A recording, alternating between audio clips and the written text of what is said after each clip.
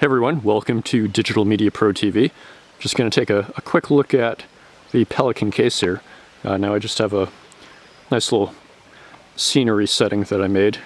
Put all these rocks down, planted moss and ferns, and uh, it'll eventually give a nice backdrop. Um, also use the place as a campsite. So uh, it's always good to have good cases to protect your equipment, especially if you're going to be out in the woods where it could potentially start raining before you get to any kind of shelter. Now the Pelicans are really durable, they're waterproof, and uh, they're just really nice to have. Uh, they do have pressure equalization valves, and everything is just a really nicely heavy uh, and uh, durable. Even though it's plastic, it's reinforced plastic, and it does have a lifetime warranty. Now this particular model is the Pelican 1510, which is basically an airline carry-on size. It's the largest legal carry-on size. It does have wheels on the bottom and on the back side it has a handle that extends so you can roll it around. So I basically have it divided up the way I need. Keep my T4i over here. Have a 50mm f1.2 lens over here. On this side I keep the 5D. And up here I have the Speedlight, the 600EX. And uh, here I just have a surround sound audio recorder. It's a Zoom H2N, which is a, a really neat little handy thing to have and uh, takes really nice audio. So depending on what I'm doing, sometimes I mount that on top of the T4 or just stick it wherever it's needed.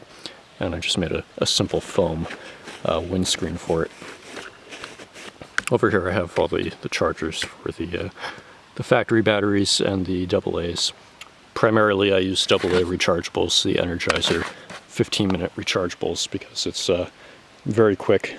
If you uh, run out of juice, you can just pop them out, swap another set, and it's pretty much impossible to use all the power out of them before the backup set is recharged again. So that's always nice. I got the 5D Mark III with the 24 by 70 f2.8 lens. Very nice lens.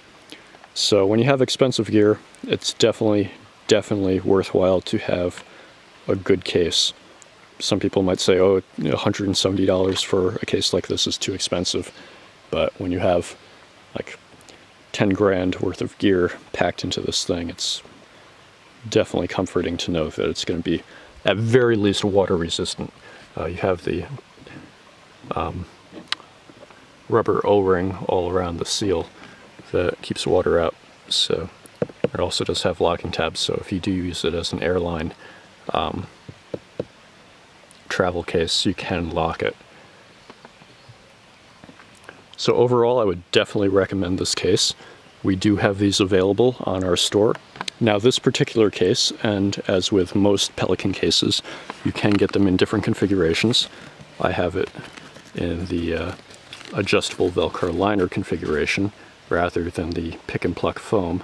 Um, they also do have a, a carry-on bag version which uh, is good for clothes and it has a, a, laptop carrying section built into the lid. Um, you can also get a nice little divided compartment with little zippers so that you can put all your accessories in the lid and uh, that's about 20 bucks if you order it separately. So overall it's a nice size.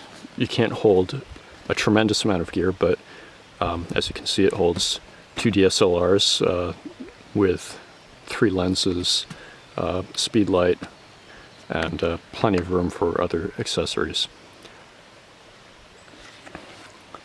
Now the Pelican 1510 is available on our store in various colors, along with many other Pelican cases, so definitely check it out online at digitalmediaprotv.com slash store. We also have tons of other equipment, gear, cameras, you name it, we probably have it. Thanks for watching, definitely check out our channel, hit subscribe, and thanks for watching.